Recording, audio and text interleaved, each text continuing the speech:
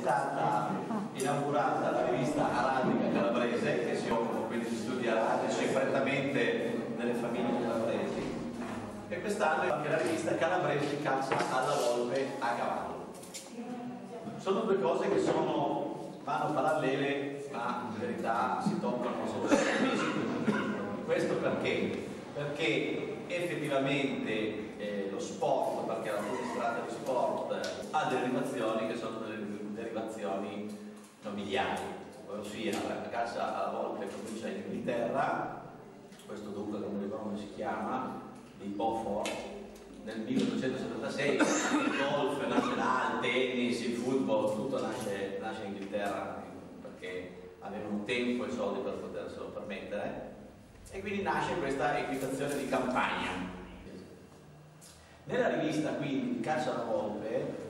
che è interessante, ed è la prima ma anche unica rivista in Italia, e questo mio cugino dalla Calabria parte, forse perché lui è più giovane, lui dice no, apriamola anche al mondo, mettiamola sul web, facciamo una rivista, comunichiamo che cosa stiamo facendo. E quindi ha una presentazione che prima parte da una sezione storica, quindi si riallaccia a quelle che sono, eh, che sono le basi di quello che noi facciamo, cioè l'equitazione. L'equitazione ha delle basi che sono delle basi militari, storiche e aristocratiche, quindi gli aristocratici da sempre andavano a cavallo e tutte queste cose sono contenute, ovviamente non nel primo numero, ma è intenzione di mio cugino di divulgare quelli che sono gli appassionati di equitazione, ma anche gli appassionati un po' di storia e anche gli appassionati un po' di costume. Perché di costume? Perché in Italia, magari a voi che siete qua eh, non sapete, che sono se voi siete tutti calabresi, no, comunque in Italia esistono parecchie società di caccia da porto. Io non so esattamente siano, ma posso elencarle perché non l'ho mai contati, quindi esiste la più vecchia, che è questa, che addirittura vedete aveva fatto un libro, è una società che è a Roma, nasce a Roma nel 1836 ed è la più vecchia d'Italia, una società che ha più di 150 anni. Quindi la società romana di caccia alla volpe ha 150 anni. Questo che cosa vuol dire? Che ha passato le guerre, c'era il re, arrivata la Repubblica, c'era l'annunzio, cioè attraverso la società romana di caccia alla volpe sono, è passato il mondo e l'elite dell'epoca dell'Italia un'altra. Quindi c'è un interesse specifico per questa attività di, della caccia alla volpe che è equitazione di campagna, fondamentalmente. Però quello che è importante e che ancora non viene tanto percepito per colpa di queste società che sono anche vecchie è che comunque le società di caccia alla volpe sono basate su degli elementi che sono degli elementi vecchi ma moderni. Vecchi perché apparentemente c'è questa forma, ma moderni perché sono basati su dei sentimenti che sono sempre moderni, cioè sono non a scopo di lucro, può essere un moderno, dovrebbe esserlo, e poi sono basati sull'amicizia, cioè si è tutti uguali, come in quello di Gol siamo tutti del tu, in quello di caccia a cavallo e tutte le società adesso, un po' grazie a me, falsa modestia, non bisogna avere dei delle false modestie, cioè io anni fa ho detto le società devono parlarsi, mio cugino vuole dedicare a questo molto tempo perché ha passione e noi siamo tutti contenti, anzi mio fratello non è potuto venire che aveva un impegno su, a casa nostra in Piemonte quindi è rimasto, è rimasto là però un po' ha rosicato, infatti ci chiamava, diceva sempre cosa fate? Perché avrebbe voluto essere qua, anche un po' per curiosità. E poi per vedere mio cugino che ha fatto prima la rivista araldica, adesso ha fatto la rivista calabrese, adesso ha fatto anche un forum, quindi lui il primo ha fatto un forum nel quale chiunque voglia delle notizie scrive e dice ma com'è sta caccia, datemi delle informazioni, cioè si è portato avanti nel mondo più moderno. E con questo lascio la parola a Mastro Dolgiano.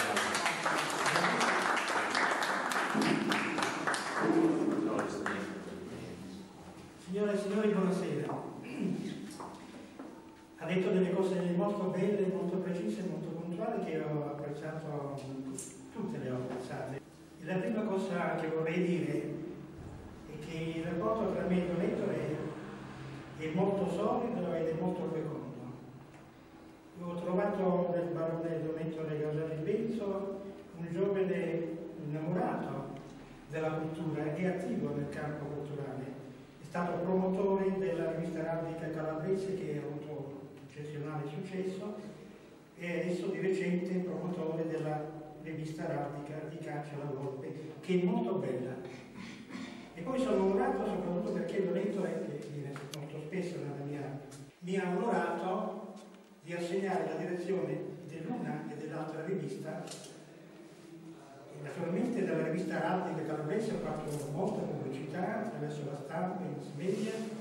e gli amici. Della rivista Calabrese, che è una rivista piuttosto tecnica, ma che ha della parte storica, io intratterò a parlare dei valori storici che sottostanno a questa rivista e farò propaganda successivamente.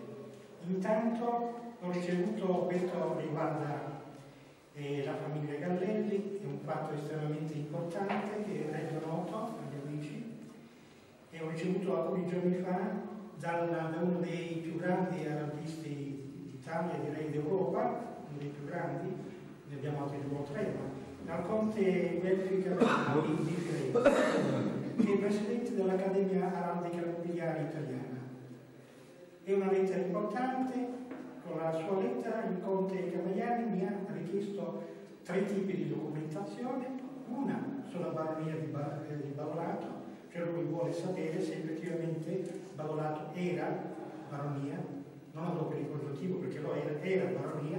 una seconda documentazione è se effettivamente i baroni Gardelli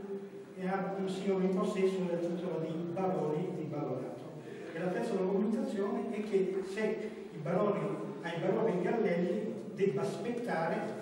il titolo di conti eh, di pago e di Io nel mio ricco archivio che possiede più di 35.000 documenti, quella metà naturalmente in fotocopie, ho fatto la ricerca e ho mandato al Conte Cavagliani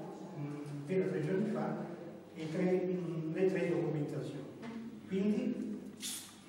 baroni Gallelli possono, spetta ai baroni Gallelli il titolo di, di conti. Conti, baroni Gallelli,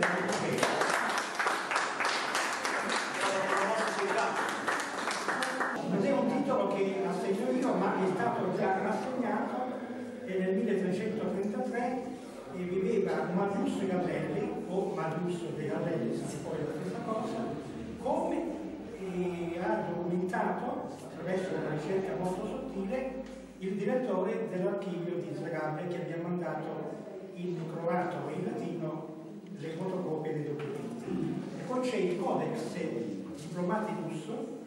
eh, prima edizione del 1909, in cui viene proprio registrato specificamente, sulla base di tutta una serie di documentazioni, che Matus Gallelli o De Gallelli era conte di pago e libro. Voi sapete che entro il 15 novembre apparirà mio, la mia monumentale storia di Balorato, 700 copie, 109 fotografie rare, coene e, a piena pagina, un lavoro la cui ricerca è durata 30 anni e nella, nel capitolo che ho dedicato molto molto ampio, molto bello, molto sottile, assai assai documentato sulla famiglia dei baroni Gallelli o poi alla fine della, della titolazione ho detto con spettanza ai baroni Gallelli di Barlato del titolo di conti di pago